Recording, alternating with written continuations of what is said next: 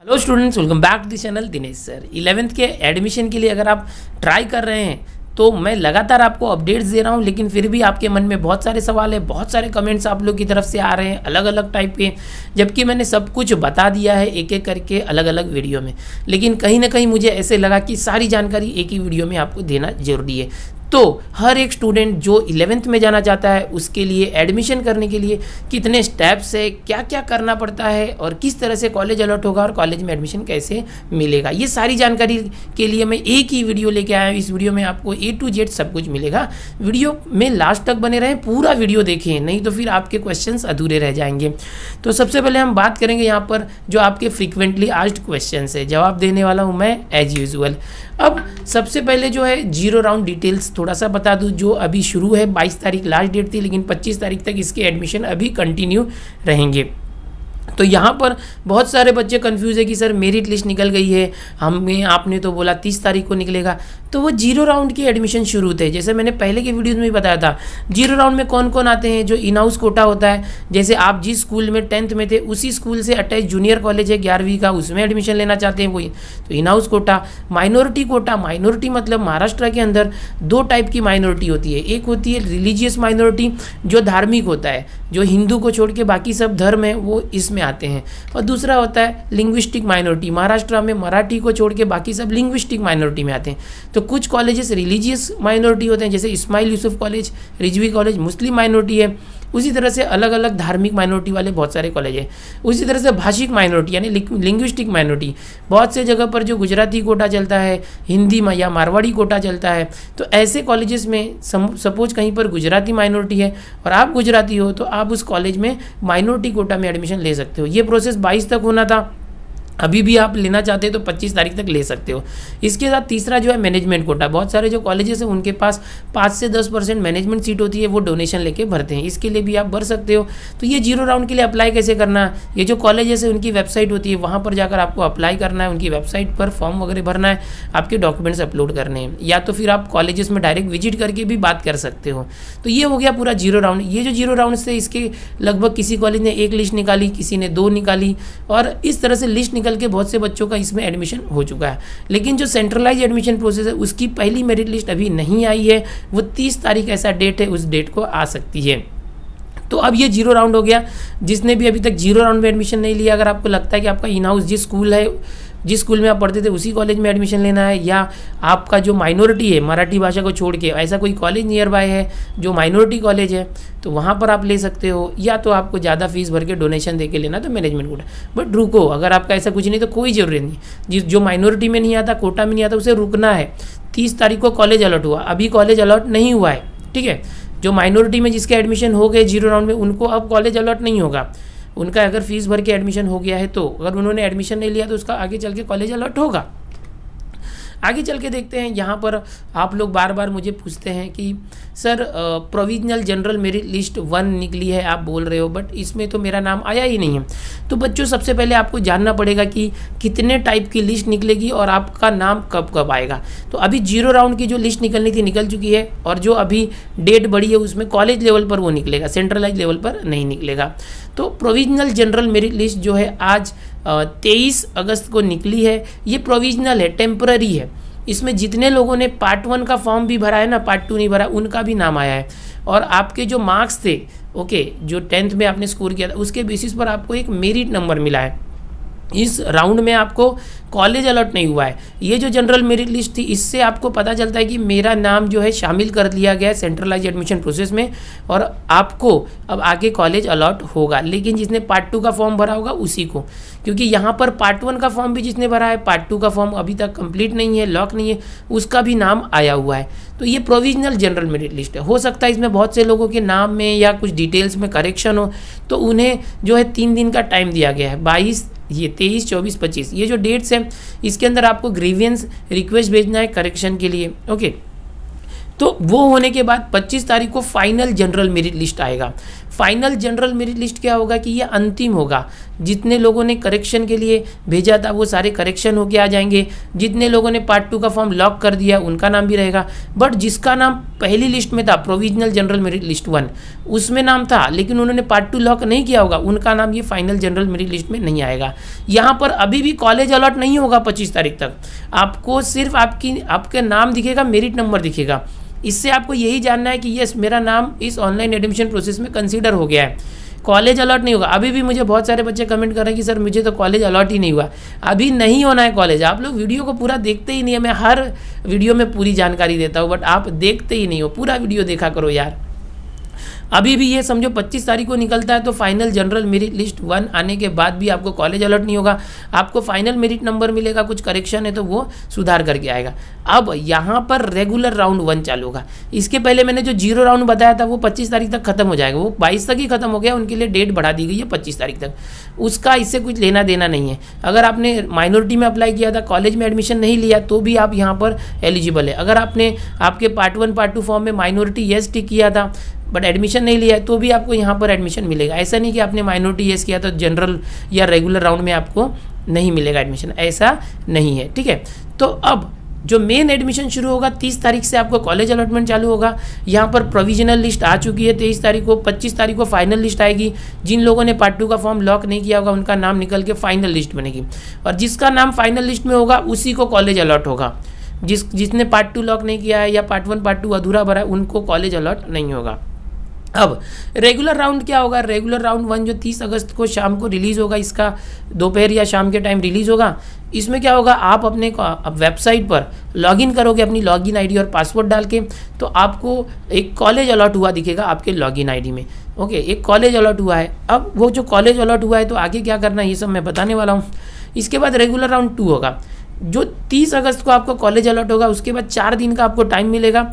उस चार दिन के अंदर आपको जो कॉलेज अलॉट हुआ है, उस कॉलेज की वेबसाइट पर जाकर ऑनलाइन तरीके से अप्लाई करना है फॉर्म भरना है डॉक्यूमेंट अपलोड करना है फ़ीस अपलोड करनी है। तो आपका एडमिशन कंफर्म हो गया। अब आपका नाम आगे की लिस्ट में नहीं आएगा।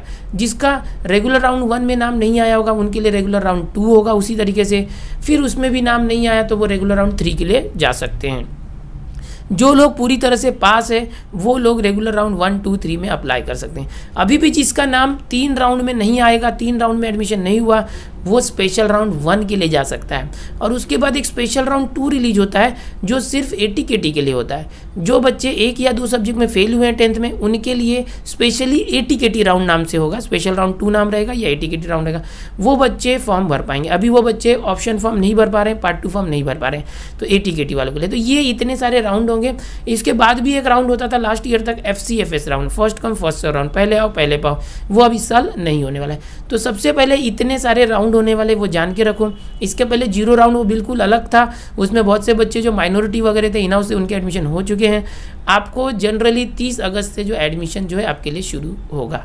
इसके बाद जो बहुत ही क्वेश्चंस आप आप लोग पूछते रहते हैं कि, सर, एक बच्चे को क्या क्या करना चाहिए? कि अगर एक बच्चा टेंथ पास हुआ है तो उसे क्या क्या करना पड़ेगा इलेवेंथ के एडमिशन के लिए? तो सबसे पहले जो वेबसाइट है eleventh admission dot O R G dot in इस वेबसाइट पर बने रहना। है ये जो वेबसाइट है, सबसे पहले इस वेबसाइट पर आप रजिस्ट्रेशन करोगे। ओके जैसे आपने किया ही था, जिसने नहीं किया था, उसको करना है। रजिस्ट्रेशन के बाद आप पार्ट वन का फॉर्म भरोगे। बहुत सारे बच्चे जिनका कोई रिजर्वेशन नहीं है कास्ट कैटेगरी वगैरह नहीं है अदर बोर्ड नहीं है रिपीटर नहीं है, ऐसे बच्चे जो एक ही बार में महाराष्ट्र बोर्ड से पास हुए, महाराष्ट्र के बच्चे, उनका फॉर्म ऑटो वेरीफाइड होता है। या जिसका कुछ डॉक्यूमेंटेशन है रिज़र्व कैटेगरी है कास्ट वगैरह है अदर बोर्ड है तो उनको गाइडेंस सेंटर या स्कूल से वेरीफाई करवाना पड़ता है, उनसे कॉन्टेक्ट करके। तो इस तरह से आपको अपना पार्ट वन का फॉर्म फॉर्म या तो ऑटो वेरीफाइड हो या वेरीफाइड बाय स्कूल या गाइडेंस सेंटर हो और उसे लॉक कर देना है। जब तक आप वेरीफाई या लॉक नहीं होता आपका फॉर्म तो आपका पार्ट टू फॉर्म नहीं खुलेगा। फिर आपको फिल पार्ट टू फॉर्म करना है। पार्ट टू फॉर्म में आपका ऑप्शन फॉर्म होता है। आप कॉलेजेस के कोर्स सेलेक्ट करते हैं स्ट्रीम वगैरह सब सेलेक्ट करते हैं। ये सब होने के बाद पार्ट टू फॉर्म को भी आपको लॉक करना है। लॉक नहीं करोगे, गड़बड़ हो जाएगा। लॉक करोगे मतलब आपने कंफर्म कर दिया है, आपने अप्लाई कर दिया है। इसके बाद क्या करना होता है कि ये जो part one part two form भरा है, इसका जो पीडीएफ कॉपी होगा एप्लीकेशन फॉर्म का प्रिंट आउट जो होता है, आप प्रिंट करके रखो और साथ में उसकी जो पीडीएफ कॉपी कॉपी है वो सेव करके रखो। और पूरा का पूरा फॉर्म कहीं ना कहीं अपने मोबाइल या तो कंप्यूटर में सेव करके रखो, क्योंकि आगे चल के कॉलेज की वेबसाइट पर उसे अपलोड करना पड़ेगा। अब जब ये प्रोविजनल मेरिट लिस्ट निकली है तो आप अपना जनरल मेरिट नंबर क्या है वो देख लो। और अगर आपको लगता है कि मेरे कुछ पर्सनल डिटेल में कुछ मिस्टेक्स है, कुछ करेक्शन है तो आप ग्रीवियंस रिक्वेस्ट भेज सकते हो करेक्शन के लिए। और 25 तारीख को जो फाइनल मेरिट लिस्ट निकलेगी, उसमें करेक्टेड डेटा आपका आएगा। तो ये आपको स्टेप्स करने हैं। इसके बाद क्या करना है कि आपको रेगुलर मेरिट लिस्ट वन जो तीस सितंबर को निकलने वाले, तीस अगस्त को निकलने वाली सॉरी तीस अगस्त को जो रेगुलर मेरिट लिस्ट निकलेगी, उसका इंतज़ार करना है। ये जो प्रोविजनल मेरिट लिस्ट निकल रही है, ये प्रोविजनल मेरिट लिस्ट क्या है? सिर्फ़ आपको मेरिट नंबर देगा, आपका स्टेटस आएगा और कन्फर्मेशन होगा कि आपका फॉर्म सबमिट हो चुका है कम्प्लीटली कॉलेज जो अलर्ट होगा, वो रेगुलर मेरिट लिस्ट वन में अलर्ट होगा। तो इतने सारे स्टेप्स आपको करने हैं। तो क्या आपने सारे स्टेप्स किए हैं, उसका ध्यान रखो। अगर किए हैं तो ठीक है, अगर आपने कोई स्टेप्स मिस कर दिया है तो उस स्टेप्स को ज़रूर करें। अब इसके बाद आपको क्या करना है? After declaration of merit list यानी कि अगर मेरिट लिस्ट डिक्लेयर हो गई, समझो जनरल मेरिट लिस्ट वन जो है तीस तारीख को उसमें मेरिट लिस्ट डिक्लेयर हो गई तो क्या क्या हो सकता है? देखो कुछ संभावनाएँ। पहला केस है कि इफ़ कॉलेज इज़ अलॉटेड हो सकता है आपको कॉलेज अलॉट हो जाए, या हो सकता है आपको कॉलेज अलॉट नहीं हो। हो सकता है आपको कॉलेज अलॉट हुआ, लेकिन पहले नंबर का कॉलेज अलॉट हुआ फ़र्स्ट प्रेफरेंस का। तो सबसे पहले अगर कॉलेज आपको अलॉट हुआ है तो आप उस कॉलेज में जाके, उस कॉलेज की या या तो कॉलेज में चले जाओ, या उनकी वेबसाइट पर अगर ऑनलाइन एडमिशन शुरू है तो उस कॉलेज की वेबसाइट पर जाकर आप एडमिशन लेना है, आपको डॉक्यूमेंट वगैरह अपलोड करना है फ़ीस अपलोड करना है। या तो अगर आप उस कॉलेज में एडमिशन नहीं लेना चाहते तो फिर नेक्स्ट राउंड के लिए जा सकते हैं। नेक्स्ट राउंड के लिए आप अपना फॉर्म मॉडिफाई कर सकते हैं कॉलेज के नाम बदल सकते हैं प्रीफरेंस चेंज कर सकते हैं, या वैसे ही रखेंगे तो भी चलेगा। दूसरा कि अगर आपको कॉलेज अलॉट नहीं हुआ, जो अभी फ़र्स्ट मेरिट लिस्ट निकलेगी जनरल मेरिट लिस्ट तीस तारीख को उसमें तो अगर कॉलेज अलॉट नहीं हुआ तो आप नेक्स्ट राउंड का वेट करो। फ़र्स्ट राउंड में नहीं हुआ तो सेकेंड राउंड का वेट करो। सेकेंड राउंड में नहीं हुआ तो थर्ड राउंड का वेट करो। और क्या कर सकते हो? सीधा वेट करो। तो जो आपने कॉलेजेस के प्रीफरेंस दिए थे दस कॉलेज, पाँच कॉलेज, चार कॉलेज, एक कॉलेज, जितने भी कॉलेज की लिस्ट बनाई थी, वही कॉलेज की लिस्ट बरकरार रहेगी और उसी के बेसिस पर आपको नेक्स्ट राउंड में एडमिशन मिलेगा। लेकिन अगर आपको लगता है कि मैंने जो कॉलेज की लिस्ट बनाई थी, मुझे उसे मॉडिफाई करना है, उसमें और कुछ कॉलेजेस ऐड करना है या कुछ कॉलेज डिलीट करना है या पूरा का पूरा नए कॉलेजेस डाल देना है तो वो आप कर सकते हो अपने ऑप्शन फॉर्म में, आपको चांस मिलेगा। आप लॉग कीजिए वेबसाइट पर ऑप्शन फॉर्म पार्ट टू खोलिए और उसमें कॉलेजेस की लिस्ट मॉडिफाई करके फिर से उसको लॉक कर दीजिए। अगर आपको जो आपने लिस्ट बनाई थी, उसमें से पहले प्रेफरेंस का कॉलेज मिल गया। पहले प्रेफरेंस का कॉलेज मिल गया तो आपको वहाँ एडमिशन लेना ज़रूरी है। आपको एडमिशन लेना ही पड़ेगा। अगर पहले प्रेफरेंस का कॉलेज नहीं मिलता तो आपके ऊपर है। आपको एडमिशन लेना है तो वेबसाइट पर जाकर ले लो कॉलेज की वेबसाइट पर। अगर वहाँ एडमिशन नहीं लेना है तो मत लो। वेट करो। लेकिन अगर आपको पहले प्रेफरेंस का कॉलेज मिल गया तो उस कॉलेज में एडमिशन लेना ज़रूरी है। लेकिन किसी कारणवश अगर आप वहाँ नहीं लेना चाहते तो आपको रुकना पड़ेगा। कब तक रुकना पड़ेगा? तीन लिस्ट जब तक नहीं निकलती, तब तक रुकना पड़ेगा। थ्री मेरिट लिस्ट निकलने के बाद जब स्पेशल राउंड वन चालू होगा, तब आपको मौका दिया जाएगा फिर से अप्लाई करने का। तो ये चीज़ें हैं जो आपको ध्यान रखनी है। अब कुछ स्टेप्स है सिमिलर स्टेप्स अभी ये जो स्टेप मैंने फ़र्स्ट लिस्ट के लिए बताया जनरल मेरिट लिस्ट वन के लिए, इसी तरह से आपके जितने भी राउंड होंगे first round second round third round special round सभी राउंड के लिए यही स्टेप्स फॉलो करना है। ओके आपको क्या करना है? जिस कॉलेज में आपका नाम आता है, यानी जो कॉलेज आपको अलॉट होता है, उस कॉलेज की वेबसाइट पर जाना है डॉक्यूमेंट्स सबमिट करनी है फॉर्म फिल करना है, और ऑनलाइन तरीके से फॉर्म फ़ीस भी फिल करना है। बट कुछ कॉलेजेस में ऑनलाइन फैसिलिटी नहीं होगी तो वहाँ पर ऑफलाइन तरीके से जाके डॉक्यूमेंट और फ़ीस भर के एडमिशन लेना है। उसके बाद क्या करना, एक बार आपका कॉलेज में एडमिशन हो गया तो आपको रुकना है। आप रुकिए और कॉलेज कॉलेज नोटिस आपको भेजेगा या कॉलेज की नोटिस चेक करिए उनकी वेबसाइट पर। एक महीने के बाद लगभग जो है कॉलेजेस स्टार्ट होंगे लेक्चर स्टार्ट होंगे, तब आपको कॉलेज अटेंड करना होगा। हर साल ऑफलाइन कॉलेजेस लेक्चर्स होते थे, इस साल हो सकता है ऑनलाइन लेक्चर पहले शुरू हो। तो ये सारे स्टेप्स है मेरिट लिस्ट डिक्लेयर होने के बाद। अब बहुत सारे जो बच्चे हैं वो बोलते हैं सर मेरे पास कास्ट सर्टिफिकेट है। आ, मेरा कास्ट है बट सर्टिफिकेट आने वाला है अभी तक मैंने अप्लाई किया है मिला नहीं है। बहुत सारे बच्चे बोलते हैं सर मेरे पास ये डॉक्यूमेंट नहीं है वो डॉक्यूमेंट नहीं है मैं कैसे करूँ? तो ऐसे बच्चों के लिए अंडरटेकिंग फॉर्म है। ये जो अंडरटेकिंग फॉर्म है ये आपको डाउनलोड कर लेना है कहाँ से? इस वेबसाइट पर है eleventh admission dot O R G dot in पर। नहीं अगर आपको मिले तो मैंने एक वीडियो बनाया है वो देख लो। आप Dinesh sir undertaking form eleventh ऐसे डालोगे तो वो वीडियो आ जाएगा। उस वीडियो के डिस्क्रिप्शन से वो अंडरटेकिंग फॉर्म डाउनलोड करो। उस वीडियो के अंदर मैंने बताया कि किस तरह से अंडरटेकिंग फॉर्म भरना पड़ता है। वो भरो और उसको पहले डाउनलोड करो प्रिंट ले लो, उसको फिर पेन से भरो। ओके और जो जो डॉक्यूमेंट आपके पास नहीं है, उसको टिक करके साइन कर दो कि मैं ये तीन महीने के अंदर भरूँगा। उसमें सब लिखा हुआ आपको सिर्फ़ टिक करना है। ओके और साइन करना है। उसको फिर स्कैन करके अपलोड करना है। वो सारा प्रोसेस मैंने उस वीडियो में बताया। यहाँ भी डिस्क्रिप्शन में मैं आपको दे दूँगा कैसे करना है। तो ये अंडरटेकिंग फॉर्म करना अगर आपके पास कोई डॉक्यूमेंट नहीं हो। बहुत सारे बच्चे बोलते हैं, सर बाईफोकल एडमिशन का बताओ कि how to select bifocal bifocal select का कोई एडमिशन का ऑप्शन नहीं आ रहा है। तो बच्चों, इस साल से बाईफोकल का क्राइटेरिया चेंज हो गया है। पार्ट वन और पार्ट टू में, पार्ट वन में आपने देखा था जो मॉक मॉक डेमो था, उसमें बाइफोकल का पूछ रहा था, लेकिन पार्ट वन, पार्ट टू में बाईफोकल का ऑप्शन नहीं था। तो अभी इस साल से क्या किया कि बाइफोकल में जिसको भी एडमिशन लेना है, जब उसको general merit list one two three में से जब कॉलेज अलॉट होंगे तो उस कॉलेज में जाने के बाद जब कॉलेज की वेबसाइट पर आप फॉर्म भरोगे कॉलेज का फॉर्म भरोगे तो वहाँ पर सब्जेक्ट सेलेक्ट करते समय आपको बाइफोकल का ऑप्शन सेलेक्ट करना होगा। इसीलिए आप अभी पार्ट टू फॉर्म में ऐसे कॉलेजेस रखो, अगर आप बाइफोकल लेना चाहते हैं तो। ऐसे कॉलेजेस रखो जहाँ बाइफोकल अवेलेबल नहीं है। मान लो आपको ऐसा कॉलेज अलॉट हुआ जहाँ बाइफोकल सब्जेक्ट ही नहीं है तो अब तब आप वहाँ पर बाइफोकल अप्लाई करोगे तो भी मिलेगा नहीं, क्योंकि वो सब्जेक्ट वहाँ सिखाया ही नहीं जाता। ये बहुत इंपॉर्टेंट बात है जो याद रखना। इसके बाद जो अगला स्टेप्स बच्चे जो क्वेश्चन पूछते हैं कि, sir A T K T हूँ मैं। दसवीं में मुझे एक या दो सब्जेक्ट में ए टी के टी लगा मेरा पार्ट टू का फॉर्म फिलिंग नहीं हो रहा है। तो बच्चों, आपको बता दूँ कि तीन राउंड तक रुकना है ओके स्पेशल राउंड जब आएगा, तब आपका होगा। जनरल मेरिट लिस्ट जो वन टू थ्री निकलेगी, उसके बाद special round one and two होगा तो उसमें अनाउंस होगा एटीकेटी राउंड तो किसी एक राउंड में आपको चांस मिलेगा फॉर्म भरने का। इसके बाद बहुत सारे बच्चे मुझे पूछते हैं कि, सर, ये ओटीपी सिस्टम क्या नया नया दिख रहा है। तो ये ओटीपी सिस्टम आपको बताना चाहूँगा कि ये जो वेबसाइट है, इसके अंदर इस साल से परमिशन दिया गया है कि बच्चा जो है, उसको अधिकार दिया है। कि पहले क्या होता था, किसी भी कॉलेज में आप जो है, आपका नाम आया और आप एडमिशन नहीं लेना चाहते तो भी वो कॉलेज आपका एडमिशन ले लेता था। फिर आपको नेक्स्ट राउंड में अलॉटमेंट नहीं मिलता था। अगर आपको समझो, उस कॉलेज में एडमिशन नहीं चाहिए, लेकिन उस कॉलेज ने क्या किया इंटरनल तरीके से आपका एडमिशन कंसिडर कर लिया। आप गए भी नहीं वहाँ भी तो आपको नेक्स्ट राउंड में एडमिशन ही नहीं मिला। तो ऐसा हो सकता था। तो बट अभी क्या हो गया कि एससीएचडी की वेबसाइट पर ऐसा हो गया है कि जब आप एडमिशन के लिए रिक्वेस्ट करोगे तभी होगा। आप परमिशन दोगे तभी होगा। आप उस कॉलेज अगर कोई कॉलेज आपका एडमिशन लेना चाहता है और आपका उस कॉलेज में जो है अलॉटमेंट हुआ है तो उस कॉलेज को क्या करना पड़ेगा? आपसे ओटीपी लेना पड़ेगा। आप अपने लॉगिन में जाके ओटीपी लोगे और ओटीपी उस कॉलेज के ऑफिशियल्स को दोगे ऑफ़िस वाले को। वो ओटीपी जब एंटर करेंगे, तभी आपका एडमिशन होगा। नहीं तो नहीं हो। बिना आपके परमिशन के आपका एडमिशन कोई नहीं ले सकता और आपका एडमिशन कैंसिल भी कोई नहीं कर सकता। इसलिए ओटीपी बहुत ज़रूरी है।